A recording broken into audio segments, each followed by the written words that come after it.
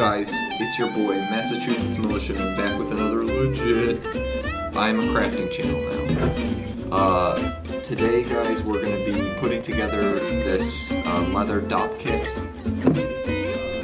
purchased online. Um, I think leather is going to be the next big thing uh, on, on YouTube and, and just in general. So sew this together. I don't have any tools, so I don't really know how well this is going to work, but you know what, guys? We're going to give it a try. Uh, let's do this. Really know how well this is going to work, but you know what, guys? We're going to give it a try. Uh, let's do this.